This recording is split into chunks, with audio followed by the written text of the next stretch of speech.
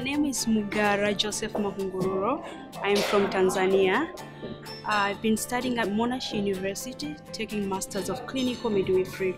Studying in Australia has been a very great exposure to me because I've met different people from different nationalities. We were able to exchange ideas and even the way of solving problems that are pertaining to our health system in our countries.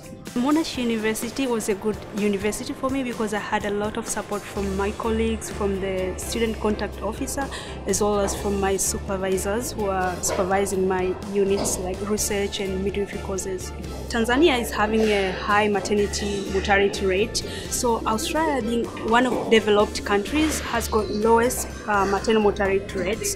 And since the university here offer uh, masters in midwifery so i decided to come here to get this chance to study and being able to get scholarship from australian awards that was the thing which motivated me to come over the best thing that i've learned from australia is that when I was in my country, I thought maybe if we want to change health system and we want to reduce the maternal mortality rate, we need to get funds from international organization and everything.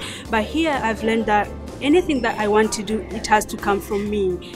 The willingness to work, using the uh, support that I have, utilities that I have, uh, it can help me to achieve whatever I want to achieve. So it's not necessary to get money or any technical support from outside. I can be the change agent and help my fellow midwives to achieve whatever I want to achieve in our healthcare system.